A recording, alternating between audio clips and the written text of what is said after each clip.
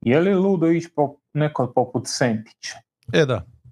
Neko ko je u mladim kategorijama, barem u nekoj mjeri pokazao elitne karakteristike, koji je zapeo negdje i ti mu možeš dati deset utakmica da se iščupa i ti potencijalno možeš dobiti top golmana, jednog od ovih što smo rekli.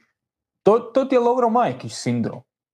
Ozlijeđen, e, van ritma, ovakav, onakav, dao si mu šansu, istrpio si ga neko vrijeme i dobio si u jednoj sezoni top top golmana, onda nakon kad je spustio malo tu formu, ti još uvijek imaš jako dobro golmana. Prošle godine smo pričali o njemu, imali smo sto pitanja, može li Majkić u reprezentaciju. Sad se više ne pita može li Majkić u reprezentaciju, ali znaš gdje si. Znaš da imaš top golmana, da imaš stabilnu opciju i da na njega možeš računati. Tako da